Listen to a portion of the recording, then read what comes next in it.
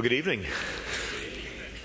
If you would please turn to the book of First Thessalonians, chapter 3.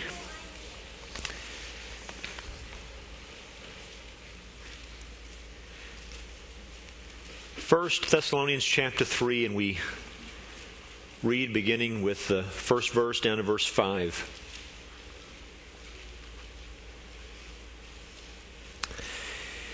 Therefore, when we could bear it no longer, we were willing to be left behind at Athens alone. And we sent Timothy, our brother and God's co worker in the gospel of Christ, to establish and exhort you in your faith, that no one be moved by these afflictions. For you yourselves know that we are destined for this. For when we were with you, we kept telling you beforehand that we were to suffer affliction just as it has come to pass, and just as you know. For this reason, when I could bear it no longer, I sent to learn about your faith, for fear that somehow the tempter had tempted you, and our labor would be in vain. Let's pray together. Father in heaven, we ask now, Lord, that you would guide us as we strive to preach your word. We thank you for your word. We thank you for the sufficiency of it, Lord. Father, I think about when Paul left the Ephesian elders, he commended them to you, to your grace, and to your word. And Lord, he trusted and he knew that that was enough for them. And I thank you, Lord, tonight that, that your presence in our lives, the presence of your Spirit, the reality of your grace, and the sufficiency of your word is enough for your saints. Lord, I pray that tonight you would empower this time of preaching, that you would make it effective, that your people would be edified and instructed. And where we're in need of it this evening, Lord, even corrected. That, Lord, we would walk in a manner worthy of the calling with which you've called us. And we ask you this tonight in Jesus' name. Amen. Well, as we've been seeing, Paul is in the midst of a defense. It's something under the surface, it's not something you know overt. He doesn't come out and say, "Now I'm defending our ministry," but as you as you read chapter 2 and chapter 3, it's just apparent that he is he's taking them back, he's reminding them of his time with them and of the character and the nature of the ministry that he had there because he has been criticized, and he's doing this not for himself, he's doing this ultimately for them. It's not uncommon that the enemies of the gospel, it's not uncommon that the enemy of our souls, the devil, would try to convince God's people that those who have taught them the truth and those who they need to hear at the moment are not really trustworthy. And that's what is going on in Thessalonica. So, what does Paul do? Well, he takes them back in chapter 2, verses 1 through 12, to the time that he spent there in Thessalonica. He reminds them of the character of his ministry among them. Then in chapter 2, verses 13 through 16, he reminds them of the energy of the Word of God as they first received the Word of God from the apostles, but then the ongoing working of the Word of God in their lives. That is their own, the, the, the, transformation of these people in Thessalonica testifies to the genuineness of his ministry. He says, in effect, not only remember the ministry, look at yourself. And look at the effect of God's Word in your life. And there's a testimony about our ministry. And then he, in verses 17 through 20, we looked at this last time, he, he begins to explain to them why he hasn't been back to them. Remember what the criticism of Paul is. Paul, why did you leave Thessalonica so quickly? We looked at it in the book of Acts how there they are ministering in this city, and the Jews stir up strife, and so the brothers get them out of town, you know, to, to save their lives. Why did you leave so swiftly, and why haven't you returned? I think the criticism of Paul, you know, behind the scenes, under the surface, is Paul doesn't really care about you. He doesn't care about you, and this is proven by the fact that he left you, and this is proven by the fact that he hasn't returned to you. And so what he's doing is he's explaining that he does care about them. And in verses 17 through 20, he explains not only why he, the, the nature of his leaving. Remember, he says, We were torn away from you. Uh, it's a word that speaks of being orphaned. He says it's like we were torn away from our children. So I didn't leave because I wanted to. And in fact, he says, I've tried to come back to you again and again. I've wanted to come to you, he says in verse 18, but Satan hindered us. And he says, if you doubt that we really care about you, just remember this that in our minds, our future before the Lord Jesus, face to face, involves you. Verse 19, what is our hope or joy or crown of boasting before our Lord Jesus at his coming? Is it not you? For you are our glory and joy. He says, I look forward to standing one day before the Savior with you, his people, who've been bought by his blood, and you are, in some sense, my crown, my victor's crown, because God has, in his grace, been pleased to use me in some way to gather in this people who were paid for by the blood of Jesus. Now, what he does in chapter 3, verses 1 through 5, is he explains how, even though he's not been able to come to them personally, why he sent Timothy. He explains that he did send Timothy. He explains why he sent Timothy and what he hoped to see accomplished in them as a result of Timothy's presence. If you take all of this together, right, chapter 2, and now we move into chapter 3, if you take all of it together, there's a picture that emerges. And that's what I want us to look at tonight. The, the, the, the theme that runs through all of this. And the picture that emerges is this the love of a shepherd. What it means to love someone in ministry the true love of a true shepherd. And we not only think about the Apostle Paul, obviously, I mean, I think about my own ministry here. I think about what it means to love God's people in ministry. But you also should think about, wherever you have ministry, what it means to really love people that you minister to. What it looks like to really be a shepherd, what it looks like to really care about the people that you have a ministry to. And tonight I want to point out five marks of a true shepherd's love for his people. And then we'll finish with some examination questions. But five things you see again in verses 1 through 5. Let's read the verses again together, and then we'll begin to point these out. Verse 1 Therefore, when we could bear it no longer, we were willing to be left behind at Athens alone. And we sent Timothy, our brother and God's co worker in the gospel of Christ, to establish and exhort you in your faith that no one be moved by these afflictions. For you yourselves know that we are destined for this, for when we were with you, we kept telling you beforehand that we were to suffer affliction, just as it has come to pass, and just as you know. For this reason, when I could bear it no longer, I sent to learn about your faith, for fear that somehow your, the, the tempter had tempted you, and our labor would be in vain.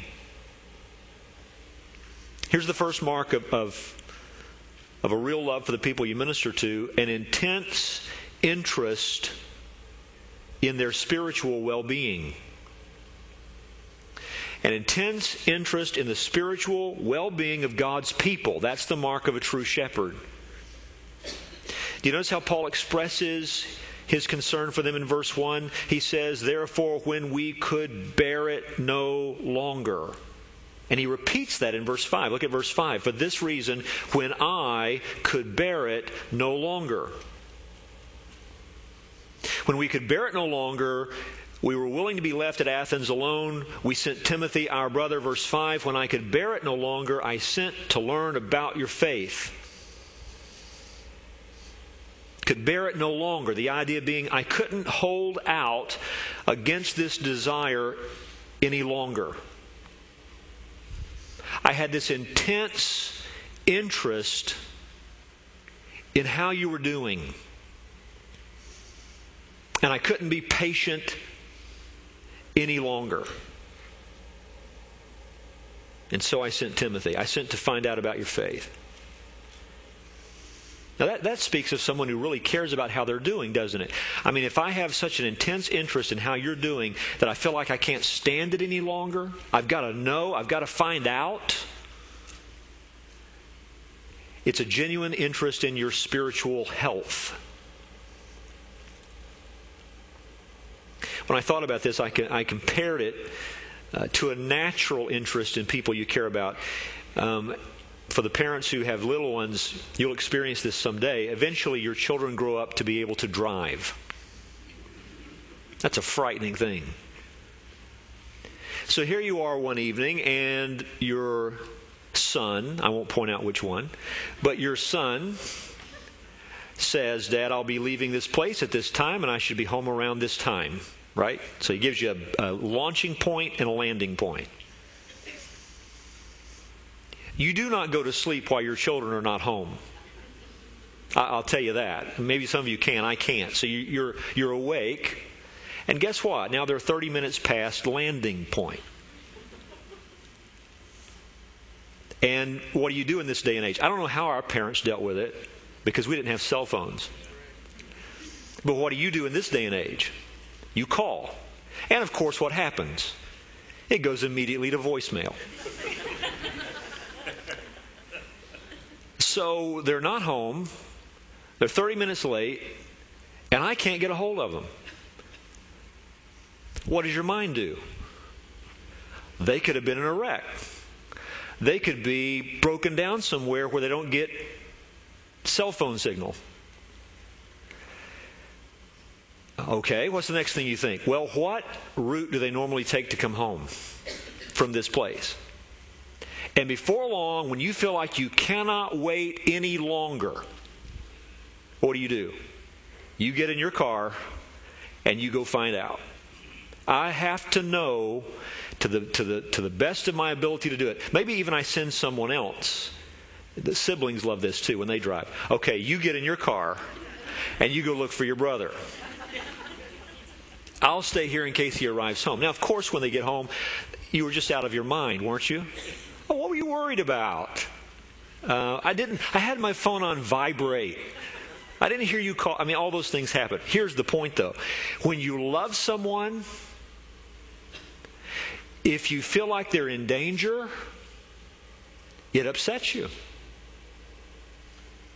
And you can't just sit there in, in peace and rest. You have to find out. You have to know. Well, this is how the Apostle Paul felt about these believers in Thessalonica. He, he didn't know how they were doing. He wanted to come to them. He had tried more than once. He, he tells us he's been satanically hindered. He can't get to them himself. We don't know exactly why. He doesn't tell us exactly why. Why he himself cannot go to Thessalonica. But he knows this when he couldn't wait any longer, when he, when he had to know how they were doing he sent Timothy to find out. Now, that's the mark of a true love for someone. You care genuinely about their spiritual well being. Here's the second thing we see. He says, verse 1 Therefore, when we could bear it no longer, we were willing, here it is, we were willing to be left behind at Athens alone. Not only do you have an intense interest in the spiritual well being of God's people, you have a sacrificial interest in the spiritual well being of God's people, a sacrificial interest. Not only do you care about them, but you are willing to be put out, as it were, you are willing to sacrifice yourself on, in some way, on some level. You're willing to undergo hardship yourself in order to take care of them. Paul is not just concerned about the Thessalonians, he is going to express this in a tangible way. He can't come to them himself, but he so cares about how they're doing that he's going to take care of them in a way that's going to cost him personally. He says, we, he wants them to know this. We were willing to be left behind at Athens alone. I so care about you that I was willing to be left behind alone. All right? What's he talking about? Well, Luke doesn't mention this in the book of Acts, but when you look at Acts chapter 17, you can piece the picture together. You can read this in your own time. I'll just give you the picture tonight. Paul, Silas, Timothy have to leave Thessalonica, right? There's the uproar, they have to leave. Paul, Silas, and Timothy come to Berea, and it's not long before there's another uproar in Berea. Paul then has to leave Berea. They have to get him out of town there, but Timothy and Silas stay there. Acts chapter 17, verse 14. The Bible does tell us about that which means that Paul is transported to Athens and he arrives in Athens by himself. You can read about that in Acts 17. You remember he gets there, his spirit is stirred as he sees the idolatry and, and he goes about preaching and all of that. So he's by himself at Athens in the beginning. But he sends word that he wants Timothy and Silas to join him there. Well, the unreported part in, in, Scripture, but we can put the picture together, is that Timothy and Silas do actually join him in Athens. They arrive there.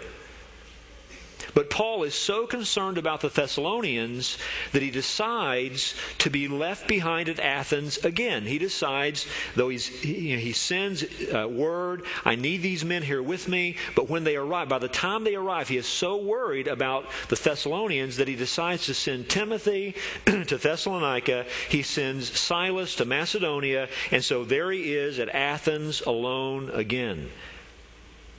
And eventually he makes his way to Corinth, and there they, they join him. Paul says, even though I didn't want to be alone in Athens, I was so concerned about you, I was willing to be left there by myself. Listen, this is, from a practical point of view, this is sacrificial. Why do you think these men travel with Paul on these missionary journeys in the first place? Because you need help in ministry. You need help in ministry. I mean, he needs these men there with him. But he's willing to go, go it alone in order to find out how they are doing. See, he wants them to understand that. Not only is it a, a practical sacrifice, it's a personal sacrifice because one of the reasons you want help in ministry is friendship in ministry. Support, encouragement. We all need that in ministry. But Paul says, listen, I, I, really love you. I care about I cared about how you were doing.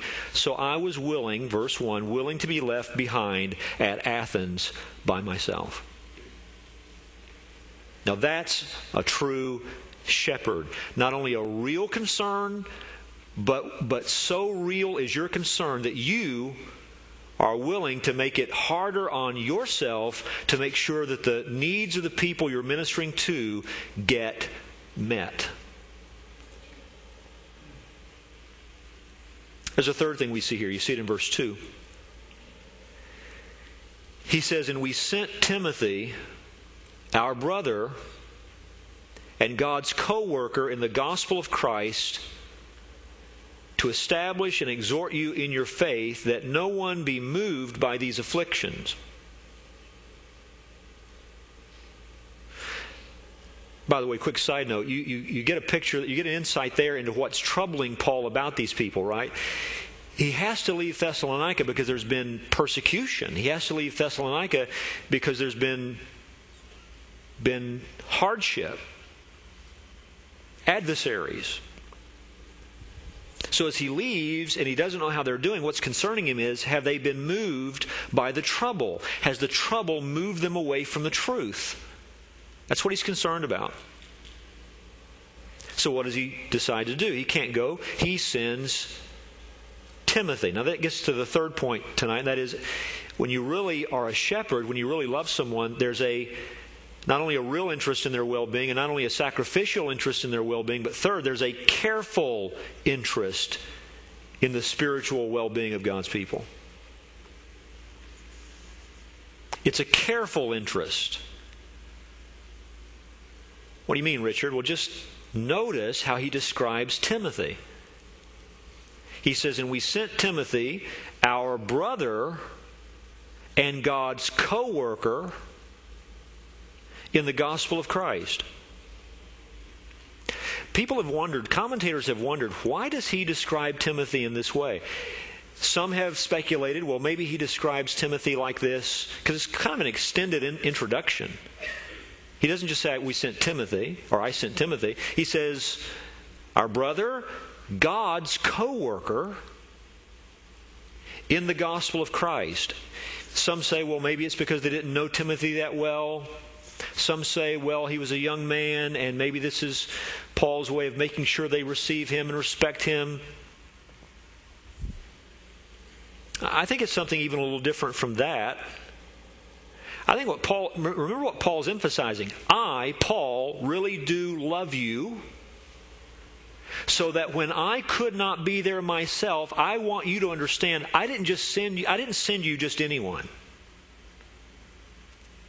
I care so much about you, if I could say it this way, I sent my best. I was willing to be left alone, and I sent my best. I sent a brother, that speaks of affection. I sent someone who is a, this is a, a very different way of, uh, of describing someone, a co worker of God. I sent you someone who works with God on behalf of your soul. He could have said a co worker of ours. But he says, a co worker of God. I sent you someone, God's at work in and through Timothy's life. So this isn't, you know, second-hand kind of ministry. This isn't the leftovers. If, he's, if he's just my coworker, maybe you're getting the leftovers. But he's God's coworker. So you're not suffering loss. I, I care about you, so I'm careful who I send. And you got my best. You know, I'm not just pulling this out of left field because Paul describes Timothy in these kinds of terms in other places, doesn't he? Philippians 2:19 he says I hope in the Lord Jesus this is what he writes to the Philippians I hope in the Lord Jesus to send Timothy to you soon so that I too may be cheered by news of you for I have no one like him who will be genuinely concerned for your welfare, for they all seek their own interests, not those of Jesus Christ.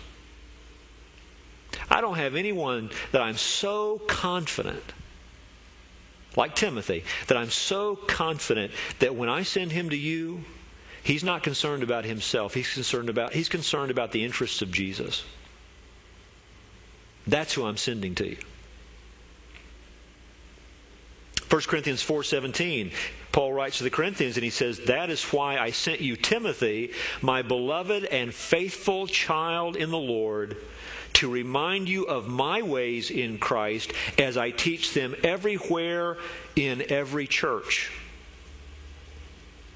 Paul says to the Corinthians, I'm sending you my son in the faith. I'm sending you someone that when he goes, it's like I've come. He will remind you of my ways, Paul says, as I teach them in every church. Who does Paul follow? He follows Christ.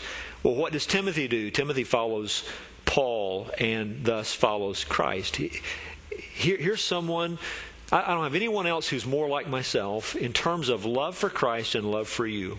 That's what he's saying. What does it mean to really love your people? What does it mean to really have a shepherd's heart?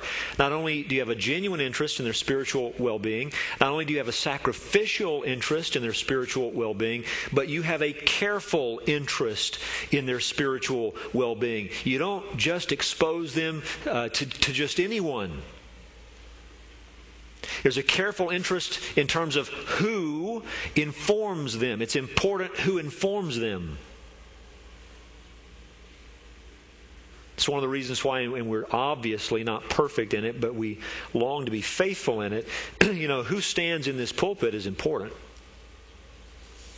Who stands here to preach is important.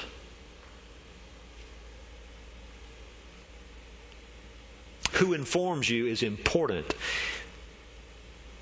And what informs you is important because he is this brother and he is this co worker of God in the gospel of Christ. You see, Timothy is a minister of the gospel of Christ. He's going to come to them with the truth of Jesus. That's what they need. This leads to a fourth mark of a genuine shepherd. You see it at the end of verse 2. And we sent Timothy, our brother and God's co worker in the gospel of Christ, to establish and exhort you in your faith, that no one be moved by these afflictions. For you yourselves know that we are destined for this. For when we were with you, we kept telling you beforehand that we were to suffer affliction, just as it has come to pass and just as you know. Fourth mark of a true shepherd's true love is a strategic interest in the spiritual well being of God's people. That is, genuine care for souls is expressed in a biblical understanding of the need of people. To really care about people is not for you and I to brainstorm over what we think they need. To really care about someone is to believe God about what they need and to be committed to what God has revealed about what His people need. What was Paul concerned about? What is he sending Timothy to do? Listen, he's not just sending Timothy to do some kind of genuine uh, I'm, I'm, sorry, some kind of, um, what's the word I'm looking for? Generic, general kind of thing. He sends Timothy to do something very spe- uh, specific. He says, verse 2, to establish. That is, he want, and this was a word that was used um, of establishing young believers in the faith we want to be sure that you're established in the faith, that, that your foundations are strong. You know, we're, we're, there, we share the gospel, people are saved, church comes into existence, we have to leave the city. Now, I want to send Timothy back and make sure that you are on a firm foundation. I want to make sure you're established in the faith. And I send Timothy to you, next statement, to exhort you in your faith. You don't just need to know what to believe. You need to be encouraged to believe it. You need to be encouraged to walk in it. You need to be challenged to walk in it. Folks, ministry is not just imparting information, it's also coming to the people of God and saying, listen, we've got to walk in this. It's not enough to know it, we have to do it. Let's don't just be hearers of the word, let's be doers of the word. So you teach people, you exhort people, and then something else you do is you fortify them. He says that no one may be moved. Interesting word there, moved. It was used of, at times of a dog wagging its tail. If you ever have a dog that really is a wagger, all right, you know what that looks like, moving back and forth, back and forth, back and forth. And he says, We don't want you like that in the spiritual realm. We don't want you moving back and forth, back and forth, back and forth. We want to teach you, we want to encourage you, and we don't want you to be moved around by these afflictions. We want you to be solid. We want you to be able to stand your ground and to stay in place. That no one may be moved by these troubles, by these afflictions. I mean, Paul has a plan, doesn't he? Timothy has an assignment. Do we have a plan in ministry? This is a mark of true love, as I said. Not that you and I are trying to come up with what we think our people need, but we believe God because God has revealed what His people need. So we're committed to God's plan for His people. And that involves teaching the truth and exhorting people to walk in the truth and helping them be stable in the truth. If you read Ephesians 4 and you read about the role of the teachers in the church, so that the, the children of God would not be like waves tossed to and fro with every wind of doctrine. not like children, always confused.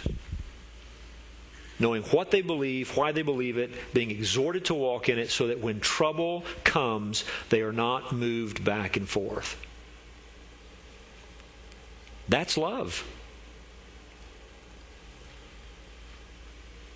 Which gets to the fifth thing, the fifth mark of true shepherding genuine interest in the well being of God's people, sacrificial interest in the well being of God's people, a careful interest in the well being of God's people, who you send to them, who you expose them to, a strategic interest in the well being of God's people, establish them in the faith, encourage them in the faith, stabilize them in the faith. Here's a, a fifth thing you see a realistic interest in the spiritual well being of God's people.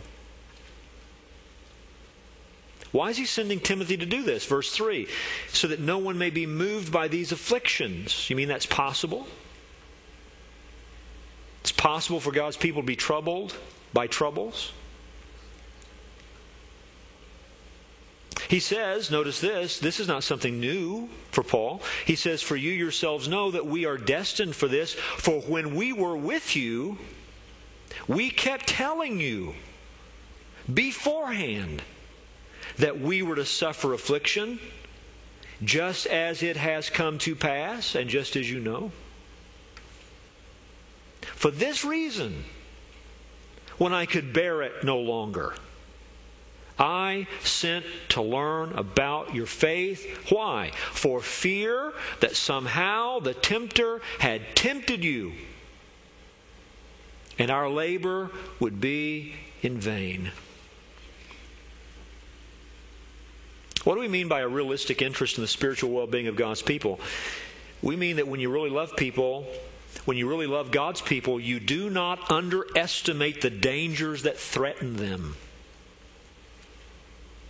When you really love God's people, you recognize they have an enemy. I mean, you have an enemy, but as a shepherd, you recognize they have an enemy. What's Paul concerned about? Verse 5, he says, For fear that somehow the, what does he say? The tempter. Who's that? Satan. Listen, I'm not ignorant, Paul says. Satan is out to do you harm. As the Lord's church, as God's people, you face a tempter. He's not naive to that. He's not blind to that. He doesn't underestimate that. And he recognizes that even apostasy happens. What does he mean when he says, lest our labor would be in vain? He means, I mean, Perhaps even the possibility they could be moved away from the faith altogether. Now, no one has to tell us that Paul completely understood the sovereignty of God and salvation and the security of the believer and all the rest. But he also understands the reality of apostasy and that God works through means to keep his people in the faith. So he's not going to underestimate the, the seriousness of what they're going through. They are in the midst of persecution, affliction, and it's dangerous to them. So you have to have a realistic view of what God's people are facing a real enemy, real troubles, and real possible dangers. So, if you have this realistic view of what the people of God are facing, what do you do if you love them? You prepare them for it. Not only is he sending Timothy to them right now to help them be established, but Paul's able to reflect back on when he was with them, and he's able to tell them, I warned you about this. Folks, do you realize it is loving to warn God's people of what might move them out of the way of truth? It's amazing. We're living in a time where everyone wants everything to always stay positive. Right? Tell me something positive. Isn't it interesting? You go, you go, you go to uh, Acts 20. When Paul is leaving the Ephesian elders, he's seeing them for the last time. And he tells them there how he had warned them night and day with tears about the fact that when he left, there are going to be wolves that come in among them. I mean, what is Paul doing? This is the pattern you see in the New Testament when it comes to new believers. It's amazing, isn't it, that in many cases in, in our churches, we have new believers and we're leaving them with the impression you've come to Jesus, now everything's going to be wonderful. Paul's approach was just the opposite. You've come to Jesus, now get ready. Everything's going to get tough. I mean, you're going to face affliction. You're going to face persecution. You're going to face things that come against you that want to move you out of the way of truth. And he says, I warned you about this night and day in Acts chapter 20. And here in our, in our text tonight, he says, verse 4 When we were with you, we kept telling you. We kept telling you. I mean, I didn't just tell you, I kept telling you before it happened that we were to suffer affliction. Paul, how can you, how can you tell people that you know they're going to suffer affliction? Let me just ask you tonight would I be accurate as a pastor? Would I be accurate to tell this church that you better get ready for it? You're going to face affliction. Would that be a wise thing for me to do? Can you be sure that you're going to face affliction? Well, look back up at what he says in verse 3. He says, For you yourselves know that we are what? Destined for this. It has been granted to us not just to believe on the Lord Jesus, but to suffer with him. And indeed, all who desire to live godly in Christ Jesus, next word, shall or will what? Suffer persecution. Is it a maybe that you, Christian, will face affliction? Is that a maybe? Or is it a certainty?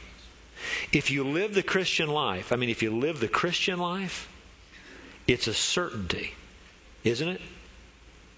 And, folks, I tell you right now, if, if our nation was in the healthiest condition it could possibly be in, you're still going to suffer for living the genuine Christian life. But, and, and this is an exciting thing, I think, for us because the light shines brightest in darkness. But right now, we're not in a healthy condition. We're not.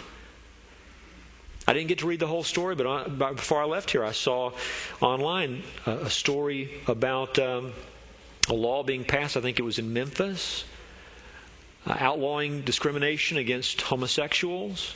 It's going to affect hiring practices. You know, I'm no prophet, don't claim to be, but you can just see the handwriting on the wall. It's going to become more and more difficult in this nation if we keep heading the direction we're heading to speak the truth of God's word about homosexuality. It's going to become more difficult, and may, there may come a day we have to suffer not, not for being hateful, for, but for simply speaking the truth of God's Word. Now, are you ready for that? Not are you going to run out and seek it, but when it comes, will you be faithful? Are you prepared to be faithful? You see, his interest in these people, it's not like Pollyanna. It's a realistic concern. He knows, he knows what these people are facing. So what does he do? He takes real steps of action. He did when he was with them, and now he's doing it when he can't be with them. He's taking real steps of action to prepare them beforehand for what they're going to face. When you love people, you prepare them with the truth. You prepare them.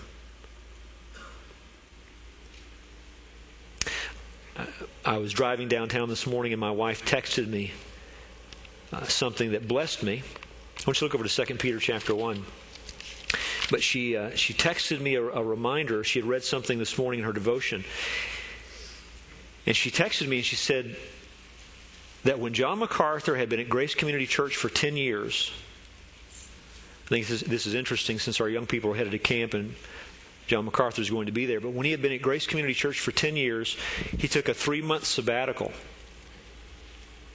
And he wasn't sure he was going to go back because he felt like he had taught them, perhaps he had taught them everything he knew. I, I can identify with that feeling. For, you know, he's been there 40 years now, so obviously he returned.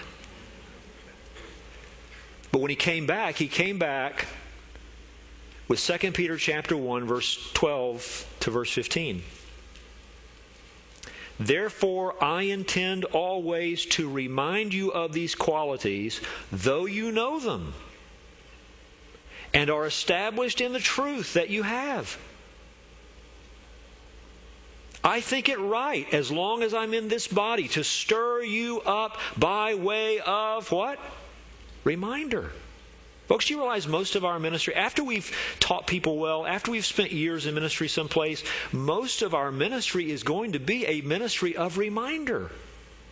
Oh, there'll always be new believers and people who've not heard the things that you've heard. But for some of you, you know, you've been here, I've been here 12 years, you, you've heard me preach on all these subjects from different parts of God's Word multiple times. But you know what? And here's what you've got to be convinced of you still need to hear it. I still need to say it, and you still need to hear it. Why? Verse 14, since I know that the putting off of my body will be soon, as our Lord Jesus Christ made clear to me, and I will make every effort so that after my departure you may be able at any time to recall these things. Why do we need to hear the truth again and again and again and again? Because we have the tendency to forget it. And we need to remember it so that wherever we are, in whatever situation, the truth is in our thinking.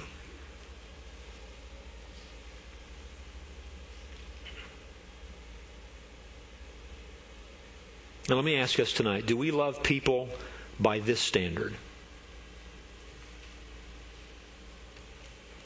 We say we love people. Do we have a, a genuine concern about how they're doing spiritually? Do we have enough concern that we're willing to sacrifice personally to help them do well spiritually? Do we care enough about them that we have a careful approach about helping them walk in the truth and a strategic approach about helping them walk in the truth? Are we committed to teaching, exhorting, and stabilizing? And do we have a realistic view of what they're facing so that we're concerned in a serious way? That's love. Do we prepare people for what the Christian life really is? Do we tell people that the Christian life means that we're going to enter the kingdom through many troubles? Do we teach people that?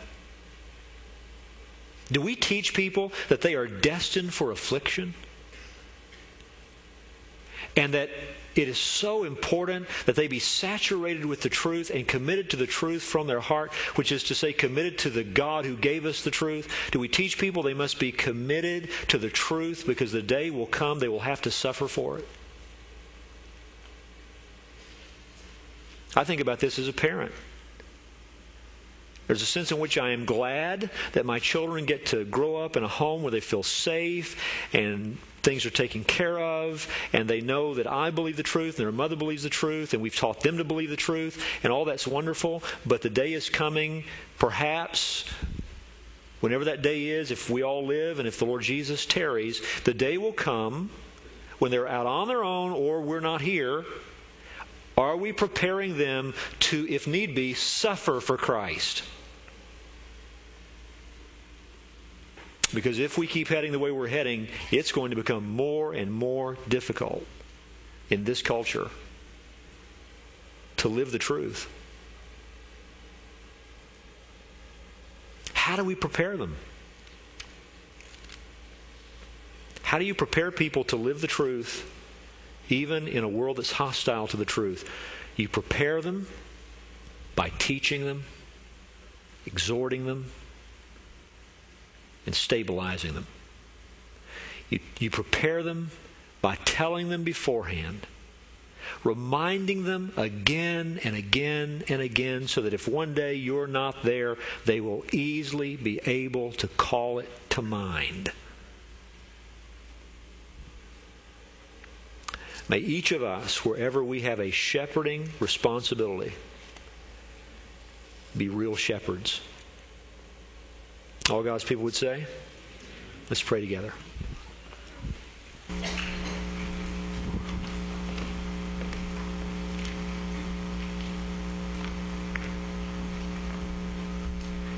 Father in heaven, we thank you for the precious treasure that you have deposited with us in your word. We thank you for our Savior Jesus. We thank you that we're forgiven and that we're safe always in your hand. We thank you for your Spirit who lives in us and who leads us and guides us into the truth and who is our not only our comforter, but he's the one who strengthens us that we might be able to stand firm in the whole armor of God that you've supplied for us, Lord, even in the evil day. Help us to be faithful as a church, not just to teach, but to remind. And to continue reminding and to continue reminding because, Lord, we are so prone to forget. I pray also, Lord, that we would examine our love for you in terms of sacrifice. Father, it grieves me to see what little commitment is so often present in professing believers. Lord, I pray that we would examine whether we know what sacrificial love for you even is. And that wherever we have opportunity, we would strive to be faithful even to the point of sacrifice. Lord, bless your church here. Help us to be faithful to you in every way. Strengthen us, Lord, to glorify your name. And help us, Lord, not just to do that in, in a corporate sense, but where it begins, Lord, as individuals and in our families. And we ask you this in Jesus' name. Amen. Let's stand together. We will be dismissed with song.